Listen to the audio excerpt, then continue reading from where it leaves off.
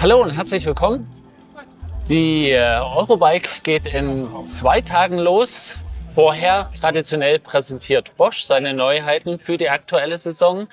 Ein paar davon haben wir hier liegen. Das ist nur ein Bruchteil dessen, was wir gerade in der Pressekonferenz gehört haben. Aber auch da wird es schon genügend Stoff geben, den ich äh, jetzt mit Peter besprechen werde. Peter, erstmal vielen Dank irgendwie, dass du uns hier wieder zur Seite stehst. Sehr gerne und äh, mit deinem Detailwissen irgendwie sicherlich glänzen kannst. Du bist bestens informiert über die Sachen, ja. die jetzt hier rumliegen. Ja, es gab gerade wahnsinnig viel zu sehen. Mhm. Wir gehen gleich im Detail nochmal drauf ein. Hast du persönlich vielleicht eine Lieblingsneuheit für die Saison? Irgendwas, was dir persönlich am besten gefällt? Also ich finde diesen, äh, wir nennen es ja Range Extender, äh, Teil heißt Power More, ja. 250 Wattstunden. Das finde ich super genial, weil ich es nur dann ans Rad stecke, wenn ich es wirklich brauche, mhm. wenn ich eine große Runde drehe. Und an allen anderen Tagen stecke ich statt dem einfach den Flaschenhalter dran mhm. und kann dann auch mein Getränk mitnehmen. Oder beides. Das ist eines im Rucksack und dann wechsle ich die Flasche gegen das aus. Ja. Finde ich fantastisch. Okay. Steckt der in der Flasche drin? Nee, ne? Nee. Der hat eigene Aufnahmen. Das haben wir heute leider nicht dabei. Wir haben hier einen speziellen Halter, der für beide Teile identisch ist. Das mhm. heißt, ich stecke einmal das rein, ja. drücke hier eine Taste, eine Entriegelungstaste und stecke dann wahlweise das rein in dieselbe mhm. Halterung. Ähm, wird dann einfach mit der Ladebuchse ähm, verkabelt mhm. am Rahmen und ist dann im Prinzip wie eine Dual-Batterie. Mhm. Ich habe dann zwei Batterien und kann die gesamte Wattstunden benutzen. Ich kann aber auch äh, nur mit einer Batterie fahren. Und jetzt meine ich das absolut ernst. So rum könnte man, wäre es ja logisch, ich fahre nur damit. Ja. Aber ich könnte tatsächlich auch das hier weglassen und nur damit fahren. Mhm. Dann habe ich ein noch leichteres Rad, weil das wiegt gerade mal 1, jetzt sind hier keine Zellen drin, aber es wiegt dann später 1,6 Kilo. Und eine Batterie für, mit 1,6 Kilo, das ist dann die leichteste Batterie. Oh, okay, also wenn ich weiß, irgendwie ich mache tatsächlich wirklich nur eine kürzere Tour, ja. nehme ich den raus, lasse ich, lass ich zu Hause. Dinge. Wenn ich hiermit fahre, only, und das zu Hause lasse, habe ich nur 80 Prozent der Maximalleistung, äh, die ich hiermit hätte, ja. weil das sind weniger Zellen, die können wir nicht mit so viel Ampere belasten in dem Moment. Aber wenn ich im Tourmodus fahre, merke ich davon gar nichts. Ist nur im Turbo-Modus wäre das ausschlaggebend. Ja. Aber das ist, ähm, musst du überlegen. Also ich würde, wenn ich das im Rucksack hätte und würde hier mit eine Tour fahren und hätte hier meine Trinkflasche und irgendwann ist der hier leer und die Trinkflasche ist auch leer, weil ich am Ende bin. Dann mache ich den rein für die Heimfahrt. So würde ich es wahrscheinlich machen. Na, Okay, damit hast du das Thema jetzt gesetzt. Ich habe kurz überlegt, okay, wenn du mit dem Range Extender einsteigst, reden wir jetzt erst über Akkus. Aber ihr habt echt viele Akkus, ja. deswegen lass uns mal irgendwie da einsteigen, wozu der auch dazu gehört. Ja. Nämlich ihr habt ein ganz leichtes Komplettpaket präsentiert eigentlich. Das baut sich rund um dieses kleine Schmuckstück hier. Um die neue Drive Unit. Um den neuen Motor, den ihr ja. im Programm habt. Genau. Wollen wir über die Drive Unit zuerst ja, reden? Weil das ist, denke ich, das, wo es auch vorher viele Gerüchte gab und auch viele sich jetzt für interessieren. Mhm. Die haben eine ganz, ganz neue Drive Unit jetzt gebracht, ähm, die Performance Line SX. Und das ist wirklich eine Neuentwicklung. Da ist kein Zahnrad auch bei dem anderen geblieben. Wir haben hier wirklich ähm, eine Drive-Unit für einen ganz speziellen Anwendungszweck neu entwickelt, mhm. um ihr eine Charakteristik zu geben, äh, wie sie eben für diese Art von E-Bike auch gewünscht wird. Na, was sofort auf jeden Fall auffällt, wenn wir die auch hier auf dem Tisch liegen sehen, okay, wir haben jetzt keinen Vergleichsmotor hier, aber wenn wir das zum Beispiel mal gegen das kleine Ladegerät hier halten, fällt schon auf, im Vergleich zum Ladegerät ist selbst der Motor echt winzig. Mhm. Also das heißt, ihr habt hier wirklich eine sehr kompakte Lösung irgendwie realisiert. Ne?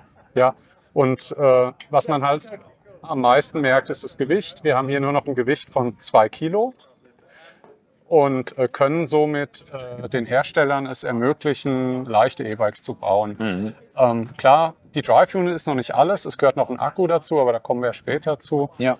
Ähm, und haben dann für leichte Mountainbikes, Gravel, Road, Urban Bikes, aber ich sage auch mal Kompakträder, die man so am Wohnmobil mitnimmt. Mhm. Ne, da macht es ja auch Sinn. Also wie der Hersteller das dann einsetzt, ja. das ist ihm überlassen. Ja.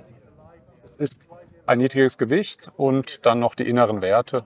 Das heißt, so klein von den Abmaßen her, aber auch andere Sachen fallen dann natürlich naturgemäß ein bisschen niedriger aus, mhm. wenn wir über die Motorleistung zum Beispiel reden.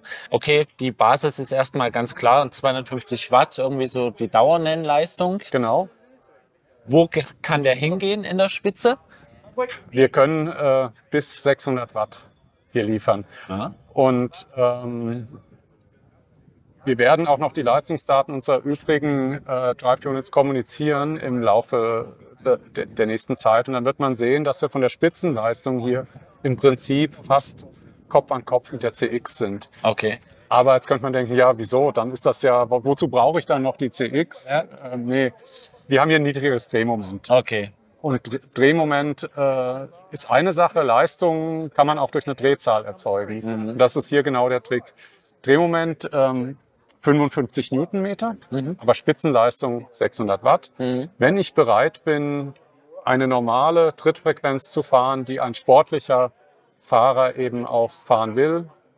Ja, also wenn ich, wenn ich hiermit jetzt mit 40 Umdrehungen ganz langsam im Turbomodus fahre, dann hätte ich, dann würde ich besser zu einer CX 12 Minuten vielleicht greifen, weil die dann das Drehmoment auch ausspielen kann. Aber wenn ich Freude an, am Radfahren habe, ja. auch gern mal ein bisschen äh, höher pedaliere und auch früher viel Rad gefahren bin, dann werde ich das lieben, weil es unterstützt genau diese Fahrweise, die vom, vom normalen Fahrrad herkommt. Mhm. Also alle, die schon mal einen Spinning-Kurs mitgemacht haben, die sind dann eher so auf der Schiene unterwegs, oder? Ja, das klingt mir ein bisschen zu extrem. Okay. Ich glaube, schon mit, 80, mit 70, 80, also eine normale Trittfrequenz, ja. die auch fürs Knie besser ist, mhm. wenn mal ehrlich. Ja. Äh, also wenn ihr eine normale Trittfrequenz fahrt, dann, dann kommt da die Leistung auch schon. Ja. Es ist halt nur nichts für die ganz gemütlichen Leute, die wirklich ganz langsam treten wollen. Okay, ähm, es gibt ja hier immer so Prozentzahlen, dieser Motor unterstützt dich mit so und so viel Prozent. Weißt du es irgendwie? Ja. Wir, wir, sind hier im Turbo-Modus dann auch bei 340 Prozent. Wie gesagt, bei einer Spitzenleistung von 600, mhm. aber eben ähm, von der Charakteristik so, dass es mich doch auch animiert und unterstützt, eher mal ein bisschen sportlicher zu fahren. Das ja. haben wir noch durch ein paar andere Tricks gemacht, äh, mhm. äh, die ich dir auch noch gerne nahelege. Ja, aber das heißt, irgendwie, wir sind hier schon so bei so einer Fahrweise, die entweder, wenn es halt das Gelände erfordert, auch dann mal wirklich höhere Frequenz, ja. kleiner Gang. Irgendwie, ja. wenn ich spritzig bin, ist der Motor dann ja. aber auch. Ganz genau. Ne? Er macht im Prinzip genau das, wie der Mensch, wie der Mensch auch. Wir wissen bei einer Tour de France im Schlusssprint, da fahren die maximale Trittfrequenz, weil das die maximale Leistung vom Körper ist. Mhm. Und genau so verhält er sich auch. Der kommt dann auch ja. nochmal. Und auch bei ganz hohen Trittfrequenzen kommt hier auch nochmal ein Schub. Mhm. Was aber auch daran liegt, dass ihr softwaretechnisch da auch euch nochmal was hat Besonderes einfallen lassen. Ja, es gibt neben den vielen Fahrmodi, die ihr schon kennt, äh, die ihr da aufspielen könnt, ähm, gibt es was ganz Neues. Und das ist wirklich revolutionär neu, weil wir haben bisher alle Fahrmodi immer so äh, gemacht, dass die äh, aufs Drehmoment schauen. Ich kann hier die Kraft messen des Fahrers, das ist ja wie eine Kraftmesskurve, hier das Tretlager. Ja. Und abhängig von der Kraft, die ich auf die Pedale bringe, kommt die Unterstützung prozentual hinzu. Mhm. Und bei dem neuen Modus mit dem Namen Sprint Mode schauen wir nicht auf die Kraft. Und da schauen wir rein auf die Trittfrequenz. Aha. Das heißt, der Fahrer benutzt nur seine Trittfrequenz um die Leistung des Motors abzurufen. Je höher die Trittfrequenz, umso mehr Leistung. Mhm. Das ist aber nur der Sprint-Mode, den kann ich per Knopfdruck eben aufrufen. Mhm. Und wenn er mir nicht gefällt, kann ich auch in den anderen Modi, die man schon kennt, natürlich wie gewohnt auch fahren. Okay, also müssen wir uns ein neues Vokabel im Bosch-Vokabular äh, merken? Ja. Sprint-Mode. Ja. Okay. Den gibt es exklusiv nur für die SX. Ah. Ist auch äh, Okay, für den Moment, Momentaufnahme oder ist es schon so auf lange Frist gesetzt, irgendwie, dass der Sprintmodus tatsächlich auch nicht einer anderen Einheit? Also es, es, kommen noch viele Fahrmodi. Also wir haben da sehr viele Ideen, was mhm. Sinn macht bei verschiedenen Radtypen. Also da sind wir noch nicht am Ende. Okay. Wohin die Reise da geht, da bin ich, da darf ich auch nicht so viel verraten. Okay, dann lassen wir uns überraschen. Wir brauchen ja auch noch Themen für weitere Jahre. Genau.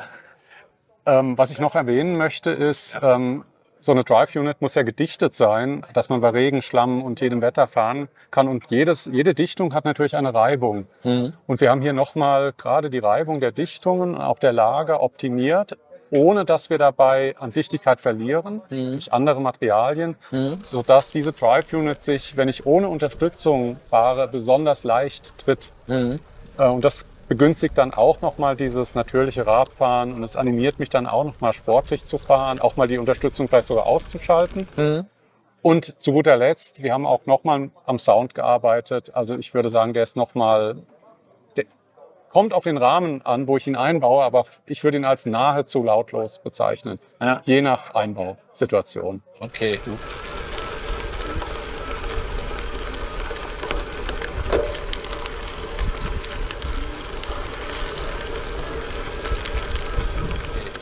Aber was wir auch hier nochmal sehen, ist, der Q-Faktor ist auch ziemlich schmal, ne? wenn ich das so sehe. Ich glaube 160 Millimeter, wenn ich richtig Den- informiert bin. Die Zahl habe ich gerade nicht im Kopf, aber ähm, Ich glaube, äh, mich, du nochmal nachschlagen. mich erinnern, äh, mich zu erinnern aus der Präsentation gerade 160 Millimeter. Und was wir hier sehen, das ist die Halterung im Rahmen. Das sind äh, spezielle Gummimetalllager, so wie auch beim Automotor im Prinzip, wie, der- wie der Automotor aufgehängt ist. Mhm. Und die sorgen dafür, dass keine Vibrationen und Frequenzen in den Rahmen übertragen werden, damit das auch nochmal ähm, das Geräuschlevel ganz niedrig zu halten. Also wir haben da wirklich alles getan, um, um da dieses natürliche Radfahrgefühl äh, zu steigern. Ja. Und gerade auch beim Tretwiderstand irgendwie, da seid ihr ja auch mit der Einheit irgendwie doch nochmal deutlich, Ja. zumindest wenn man halt ältere ähm, Ja. Aggregate von euch vergleicht, so ne? deutlich drunter. Die CX ist da aktuell auch schon sehr gut, aber hier haben wir nochmal durch die Optimierung nochmal einiges rausholen können. Mhm. Ja.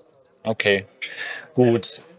Der leistet ein bisschen weniger im Vergleich zur CX, aber begibt sich damit vielleicht auch mit weniger Strom zufrieden. ja, ich werde als Fahrer natürlich animiert, hier auch mehr Eigenleistung zu bringen, was mir Spaß macht. Ja. Also es ist einfach eine Freude, damit zu fahren. Und das schlägt sich dann sofort auf die Reichweite nieder. Und ich habe möglicherweise ein leichteres Fahrradgewicht. Das schlägt sich auch nieder. Es sollten Räder möglich sein, die 16, 17 Kilo wiegen hiermit. Was unter anderem aber auch an dem Ja. guten Kerl hier liegt. Genau, der ist jetzt nicht so leicht äh, in, in echt. Hier, hier sind keine Zellen drin. Ja, Aber ich kann schon mal sagen, ähm, unser Compact Tube 400, was hierfür die perfekte Kombi ist, wiegt auch nur zwei Kilo. Das heißt, wir haben ein gesamtes Systemgewicht von Bosch von vier Kilo. Und Das ist weniger als unser größter Akku, der, der äh, 750er. Der wiegt mehr als das gesamte System. ja. Und das ist natürlich dann schon, also vier Kilo mal zu einem schönen Carbonrad dazu rechnen, da weiß man, wohin die Reise geht in der Zukunft mit leichten Rädern. Kommen noch ein paar Gramm von Ja, Kabel sagen wir mal round, roundabout vier Kilo. Das, Ja. das wiegt ja nicht viel und ein paar Ja. Kabel. Aber dann lass uns ruhig kurz über den Compact Tube auch noch ein paar Worte verlieren. Ja. Kleiner, leichter als das, was es bisher von euch für Mhm. Rahmenakkus, also In-Tube-Akkus gab. Ne? ja, wir haben hier auch einen anderen Befestigungsmechanismus. Also der ist jetzt nicht kompatibel mit der Befestigung von unseren Power Tubes. Ist eine andere Befestigung, deswegen auch kann man hier nicht zwischen den Akkus hin und her äh, tauschen. Aber ähm, wichtig, ihr habt es ja gesehen hier an den Buchsen, es ist alles im smarten System zu Hause. Ja. Es ist nicht zwingend erforderlich, dass ein Hersteller diese Kombination jetzt verwendet. Er könnte auch, was weiß ich, einen Gepäckträger-Akku zum Beispiel oder ein normales Powertube mit 750 Wattstunden. Ob das dann Sinn macht, den leichten Motor mit dem schweren äh, Akku, sagen wir nicht, aber es geht. Ja. Man kann alles kombinieren, Okay. was wir haben. Ja, ja. Bei dem Compact Tube, der hat nicht nur einen neuen Namen bekommen, weil er vielleicht irgendwie bei der Aufnahme ein bisschen anders ist, sondern vor allen Dingen, weil drinnen auch was anderes steckt.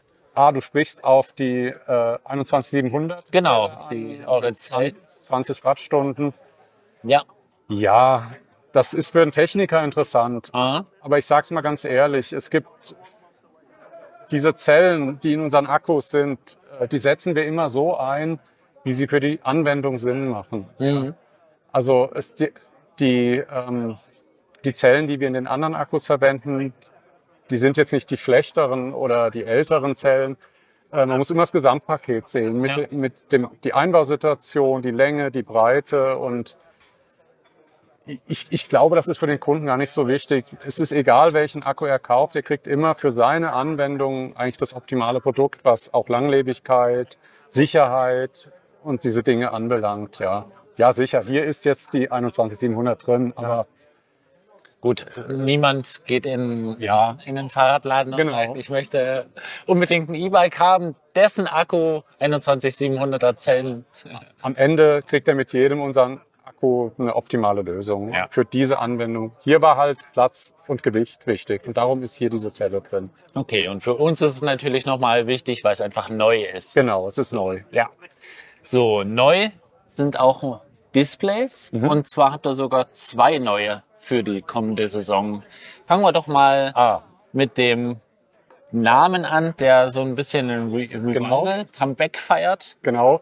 Viele können sich noch an das Purion erinnern. Und da gibt es jetzt den Nachfolger, was eben genau die Bedienung und ein Display in einer Einheit beinhaltet. Mhm. Somit könnte ich ein Rad äh, so ausstatten, dass nur dieses kleine Display links am Lenker sich befindet. Okay.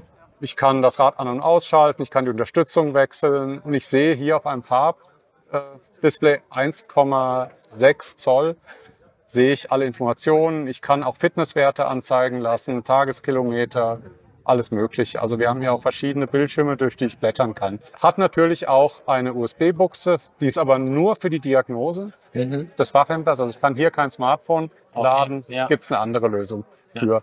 Und natürlich ist hier auch ein Bluetooth-Chip enthalten, sodass ich mich mit der Flow-App connecten kann und dann alle weiteren Funktionen natürlich auch nutzen kann. ist eine super schöne Lösung. Ein Display, eine Bedieneinheit, links am Lenker, fertig. Und ich habe alles, was ich wissen will und kann es auch schön bedienen. Ja. Wer mehr wissen möchte, der hatte bisher so Kiox 300 war eine Option Genau. oder das Intuvi 100 irgendwie dann Richtig. kabellos oder eben jetzt Kiox 500. Richtig. Das Kiox 500, um es gleich mal vorwegzunehmen, verwendet die gleiche Halterung wie das Kiox 300 und auch der Smartphone. Der Display Mount, den wir schon kennen. Genau. Ja. Und somit lässt es sich hier ganz einfach einstecken und ist auch dann kompatibel zu allen anderen Lösungen. Das heißt, ich könnte auch hier den Smartphone Grip draufstecken, wenn ich mein Smartphone kabellos laden möchte. Das haben wir schon letztes Jahr vorgestellt. Ja, ja. Ähm, und wir haben hier einfach ein größeres Farbdisplay äh, von 2,6 Zoll. Ähm, das, es, es gibt noch eine Neuigkeit, aber wenn man es ganz kurz beschreiben wollte, es hat denselben Funktionsumfang wie das bisherige Kiox 300. Das ist einfach nur größer und besser ablesbar. Mhm. Ist für Menschen, die jetzt vielleicht schon eine Lesebrille brauchen wie ich, vielleicht ein Vorteil. Ich sehe es einfach schöner. Ja. Und eine Neuigkeit haben wir hier drin, die es zum Kiox 300 nochmal abgrenzt. Wir haben hier einen Buzzer. Das heißt, dieses Gerät kann Töne ausspucken. Aha. Speziell, wenn ich eine Navigation am Laufen habe zum Beispiel, dann kommen irgendwelche Erinnerungen, dass ich jetzt abbiegen muss und solche Dinge. Also Mhm. können verschiedene äh, Hinweistöne kommuniziert werden. Mhm. Das ist der Unterschied zum Kiox 200 und die Größe. Mhm. Die dargestellten Seiten, das ist alles bei beiden Displays identisch. Ja. Weil die Frage ganz oft dann ganz schnell auch kommt, okay, das Ding hat einen Buzzer, lässt er sich trotzdem auch deaktivieren? Ganz selbstverständlich. Ich kann auch hier in die Einstellungen gehen und ganz viele Dinge äh, verändern. Ja. Und wenn ich noch einen Schritt weiter gehen möchte, äh, kann ich auch in der Flow-App mir eigene ähm, Kacheln sozusagen bauen. Wenn ich sage, ich will immer nur die eine Info sehen, was weiß ich, ich möchte am liebsten nur die Reichweite sehen. Und dann kann ich mir das in der Flow-App auch nochmal konfigurieren, was ich hier sehe. Okay. Das ist dann auch nochmal ein nettes Feature. Das gilt dann allerdings auch fürs Kiox 300. Das wird abwärtskompatibel mit der Software auch funktionieren. Okay, und nur um es nochmal festzuhalten, ich könnte zum Beispiel tatsächlich fahren mit, einem Fahrrad, also wenn mir ein Fahrradhersteller das vielleicht so hinstellt, mit dem Purion 200, so mit dem Hauptaugenmerk auf der Bedienung, an- Genau. und ausschalten und so weiter und mit dem schönen großen Kiox 500 für meine wirkliche Anzeige, für die Genau. Dinge, die ich wirklich sehen will, zum Beispiel Navigation irgendwie, damit ich Ja. meine Karte halt wirklich schön groß vor mir habe. Na, eine Karte stellen wir nicht dar, aber wir stellen ähm, einen Track dar Ja. mit, mit kleinen Verzweigungen, wenn die Navigation läuft. Ich kann natürlich, wenn ich sage, das ist mir zu wenig, Mhm. kann ich wie im Smart-System übrig, üblich Plug and Play alles verwenden, was wir im Angebot haben. Das könnte auch das Intuvia 100 sein mit Bluetooth. Es kann das Kiox 300, es kann das Kiox 500 oder der Smartphone Grip sein, Ja. ähm, was ich denn möchte. Ja. Äh, nur wichtig, so mit diesen Pfeiltasten verändere ich hier die Anzeige. Also wenn ich hier drauf drücke, kommen hier verschiedene Informationen, wie zum Beispiel Tageskilometer etc. Ja. Sobald ich jetzt hier das Display aufstecke, dann bediene ich mit den Tasten nur noch das Display Ah, okay. und bleibe hier auf einem bestimmten Bildschirm fest. Mhm. Und das ist der Bildschirm, den ich zuletzt aufgerufen hatte, bevor ich es draufgesteckt habe. Also was mache ich dann? Äh, wenn ich bin, ich schalte einfach auf die Geschwindigkeitsanzeige. Okay. Dann stecke ich es drauf und dann sehe ich während der Fahrt hier immer die Geschwindigkeit Mhm. Und schalte hiermit um, was ich hier zum Beispiel über die Nav- Navigation sehen möchte oder über die Tageskilometer, über die Reichweite. Ja. Ganz wichtig. Und sobald ich das wieder entferne, dann kann ich mit diesen Pfeiltasten wieder diese Bildschirme. Ist das wieder frei. Mhm. Muss man nur einmal kapiert haben, dann Ja. sollte es klappen. Alles klar. Gut, dann lass uns der Einfachheit halber erstmal bei den Sachen bleiben, die hier auf dem Tisch liegen und die neu sind. Ja. Da haben wir noch nicht über das Ladegerät gesprochen. Ja, das ist unser 2 Ampere Charger. Im Prinzip ein kompaktes, kleines Ladegerät, was sich super verstauen lässt, wenn ich auf Reise bin. Mhm. Klar, 2 Ampere ist weniger als 4 Ampere. Ja. Der Ladevorgang dauert je nach Akku ein wenig länger, aber es lang, geht immer problemlos, ein Rad über Nacht komplett wieder voll zu laden. Mhm. Und wenn ich zum Beispiel auf Reise bin und dann im Hotel übernachte, ähm, ist das überhaupt kein Problem mit 2 Ampere. Mhm. Vorteil ist, es ist wirklich super leicht und passt auch wirklich in den kleinsten Rucksack noch rein, um es einfach mitzunehmen.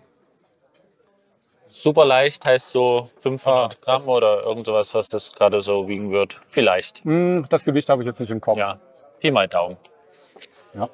Okay, gut. Äh, das ist tatsächlich irgendwie nur so ein kleiner Einblick. Eigentlich kann man zu allem, was hier liegt, irgendwie fast noch sagen und Ja. da noch mal mal drei oder mal fünf, ja. was ihr so an neuen Sachen vorgestellt habt.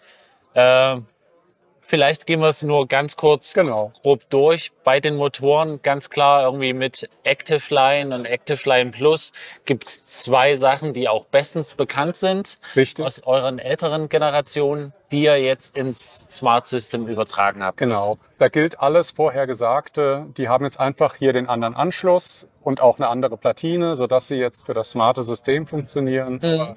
Die Mechanik, auch die Rücktrittfunktion, die, die diese Antriebe schon immer hatten, das bleibt alles unverändert. Okay. Ähm, Wenn ich mich an die Bilder richtig erinnere, sie sehen jetzt äh, auch ganz schwarz aus, glaube ich, das Gehäuse. Ne? Also nicht mehr dieses Schwarz-Silber wie ähm, bislang, so schwarz mit Grau, Ja, ich find's- sondern ich finde es so ein bisschen eher Anthrazit, aber Okay. ko kommt jetzt drauf an. Ja. aber man, sind, sie sind einfarbig. Ein, äh, Einigen wir uns auf einfarbig. Ja, es kommt ja meistens noch ein Designcover drüber. Ja. Und dann sieht man manchmal nur noch hier den, den Sticker und die Tretlagerwelle. Es sind ja bewährte Antriebe, die sehr, sehr leise sind und auch eine sehr große Reichweite ermöglichen und auch gerade im, in Gebieten in, in Nord, Norddeutschland äh, oder in Holland sehr, sehr viele Freunde haben, wo Mhm. man einfach auch gemütlicher fährt und auch teilweise keine Berge hat, wo man das hohe Drehmoment Ja. braucht von einem CX. Kannst du uns einen kleinen Einblick dann geben in die Entscheidungsfindung vielleicht, warum ihr die Active Lines jetzt mit ins Smart System genommen habt? Weil vielleicht gibt es auch die einen oder anderen, die gedacht haben, oh naja, das, das werden die nie machen. Naja, es, es gibt tatsächlich viele Kunden, äh, die nicht äh, mit dem E-Mountainbike steilste Berge erklimmen wollen, die wirklich Genussrad fahren wollen, die in der Stadt unterwegs sind, die einfach einen, einen sehr leisen Motor brauchen und die auch gerne große Reichweite haben und die Mhm. nicht jetzt ähm, die 85 Newtonmeter brauchen, die mit 50 Newtonmeter zum Beispiel bei der Active Line Plus völlig gut klarkommen. Und das ist ja auch schon eine ganze Menge. Also Ja. wenn ich da im Turbo-Modus unterwegs bin. Also ähm, und man darf es auch nicht äh, verschweigen. Äh, diese Antriebe sind auch etwas günstiger. Die haben kein Magnesiumgehäuse, sondern ein Alu-Druckgussgehäuse. Ja, Und klar, das schlägt sich auch im, im Fahrradpreis nieder. Damit ermöglichen wir auch günstigere Einsteigerbikes. Und das nicht jeder möchte 6.000, 7.000 Euro ausgeben. Nee, na klar. Also da bin ich ganz, klar, ganz bei dir. Ja. Okay, dann Akkus. Irgendwie, da gab es echt eine, eine ganze Menge. Ähm, was ist mir noch Ja, Gedächtnis geblieben? Es gibt auf jeden Fall einen neuen Rahmenakku. es ist gar nicht so verwirrend, wie es erscheint. Mhm. Wir haben einfach jetzt unsere Palette komplettiert, wie wir sie vor dem smarten System ähm, schon hatten beim E-Bike System 2. Sprich, wir haben jetzt auch einen Rack-Type Akku, also für den Gepäckträger in 400 und 500 Wattstunden. Okay. Auch da gilt genau das, was, was ich über die Active Line und Active Line Plus in Holland zum Beispiel fahren sehr, sehr viele Räder mit tiefem Durchstieg Ja. und Gepäckträger-Akku rum, weil die Menschen das einfach gut finden. Ja. Die haben gerne ganz viel Platz vorne für die Füße und deswegen hat der auch gefehlt. Und der Rahmenakku, den du gerade angesprochen hast, ja, da gibt's auch noch einen jetzt einen sehr, sehr kleinen, kompakten mit 400. Ja. Ähm, ja, das spielt dann vielleicht, ich weiß nicht, ob da eine, eine Eckpreislage wichtig ist oder ob es vielleicht auch das Gewicht ist, weil der ist auch nicht so viel schwerer als unser äh, Compact Tube. Mhm. Den könnte man auch gut mit der SX zum Beispiel kombinieren. Ja. ich den Akku nicht im Rohr haben möchte, sondern lieber auf dem Rohr zur leichteren Entnahme, Mhm. weil es ein schöneres Handling, Ja. komme ich besser ran. Wäre auch eine gute Kombi. Aber ihr seid da ja immer in einer ganz guten Position. Ihr sagt, okay, guckt mal, Fahrradhersteller, Ja. das alles haben wir, zack, zack, zack. Und jetzt baut daraus mal was Hübsches zusammen. Ja, also es ist ein wunderschöner Baukasten. Also ich kann in jede Richtung mein Rad jetzt bauen. Aber am meisten bin ich natürlich gespannt, was jetzt auf der Eurobike da an Rädern steht mit dem SX. Was wir da an Kilo sehen werden. Ja. Ich, ich habe sie selber noch nicht gesehen. Also ich bin genauso gespannt wie ihr, ähm, was die Hersteller daraus gemacht haben. Ja, zumal sich das ja wirklich halt so vielseitig darstellen wird, wie jetzt hier auch schon bei der Gelegenheit. Ne? Also ihr bietet hier auch Testfahrten an mit dem neuen System und da steht halt das E-Mountainbike neben dem Gravelrad. Ich habe aber auch äh, City-E-Bikes gesehen. Ja, also da ist ja wirklich quasi alles möglich. Ich weiß auch wirklich, weil ich es vorhin so angesprochen habe, es wird auch ein Kompaktradhersteller mit dieser Drive Unit da sein, Mhm. weil auch jemand, der das Rad hinten aufs Wohnmobil heben möchte oder muss, äh, freut sich über niedriges Gewicht und auch über eine große Reichweite. Ja. Also lassen wir uns überraschen. Ja. Ich freue mich total äh, auf die Räder. Einsatz vielleicht noch zu den Akkus, weil, okay, es gab jetzt in der Summe etliche neue, aber ganz wichtig auch die Info, dass ihr die Dual Battery Option jetzt auch noch ins Smart Genau. System irgendwie mit reinbringt als Idee, aber das wird schrittweise passieren. Reden wir im Prinzip mal über unsere Software. Äh, Da gibt es ja auch einige Neuigkeiten. Wir haben schon über den neuen Sprint-Mode äh, gesprochen, diese neue Unterstützungsstufe, die wir anbieten. Wir bieten jetzt, äh, was, worauf schon ganz viele warten, endlich die Option Dual-Batterie an. Mhm. Äh, Und das heißt, ich kann immer zwei Batterien als Fahrradhersteller am Rad kombinieren. Und es spielt überhaupt keine Rolle, welche Batterien das sind letztendlich. Mhm. Ähm, es kann so sein. Ja. Es kann aber auch ein Powertube mit einem Rahmenakku sein oder mit einem Gepäckträgerakku. Also ich kann, wenn ich zwei Batterien verkabelt habe, Ja. Werde ich die dann auch wie eine große Batterie zusammen nutzen können mit einer größeren Reichweite. Mhm. Und ähm, ist auch für die Lebensdauer gut, wenn die immer beide abwechselnd äh, benutzt werden. Mhm. Ja. Aber es ist noch nicht alles ab sofort möglich. Nee, das geht über Software-Updates. Da werden wir, in, das werden wir Stück für Stück rausbringen, sodass im Januar müssten wir eigentlich, äh, also im 24 müssten wir mit allen Rädern soweit sein, dass die Dual-Watt tauglich sind, also alle Akkutypen. Aber ich sag mal so, wenn der Kunde jetzt ein Rad kauft im Geschäft mit Dual-Batterien, dann ist das auf jeden Fall, dann funktioniert das, weil Ja. sonst hätte der Hersteller das ja nicht, äh, nicht so spezifiziert. Wobei er natürlich auch irgendwie halt sagen kann, okay, an sich, ich kaufe jetzt das Fahrrad so, wie der ist, mit dem Akku, der drin ist, und ich kann einfach darauf warten, weil die Option wird auf jeden. Fall kommen. Ich brauche einfach nur ein bisschen Geduld. Ne? Genau. Ähm, das ist eine Nachrüstsituation, da wäre es ganz wichtig, ähm, da kann ich auch hier noch mal ein Wort zu sagen. Ähm, da braucht man die Freigabe des Herstellers für, weil ähm, wir Klar, man könnte theoretisch einfach einen Akku an den Rahmen schrauben und das verkabeln. Es würde funktionieren technisch. Ja. Aber der Fahrradhersteller muss den Rahmen dafür ausgelegt haben für das höhere Gewicht. Das werden die meisten zwar machen, aber trotz allem muss man einfach sagen, bitte dran denken, kurz den Hersteller fragen. Nicht, dass es später ein Rahmenproblem gibt und dann sagt der Fahrradhersteller, nee, das habe ich so nicht freigegeben.